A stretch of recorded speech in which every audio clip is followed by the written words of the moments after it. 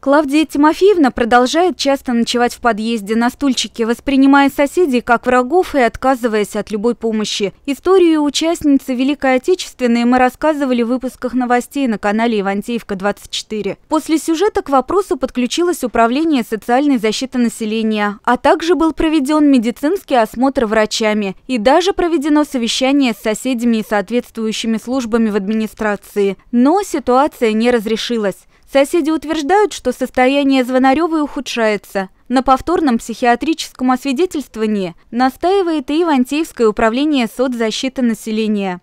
Вот что сказано в ответе Министерства соцразвития по жалобе соседей в Добродел еще 11 августа на имя исполняющего обязанности главного врача ЦГБ Рышкина направлено обращение о необходимости проведения медико-психиатрической экспертизы.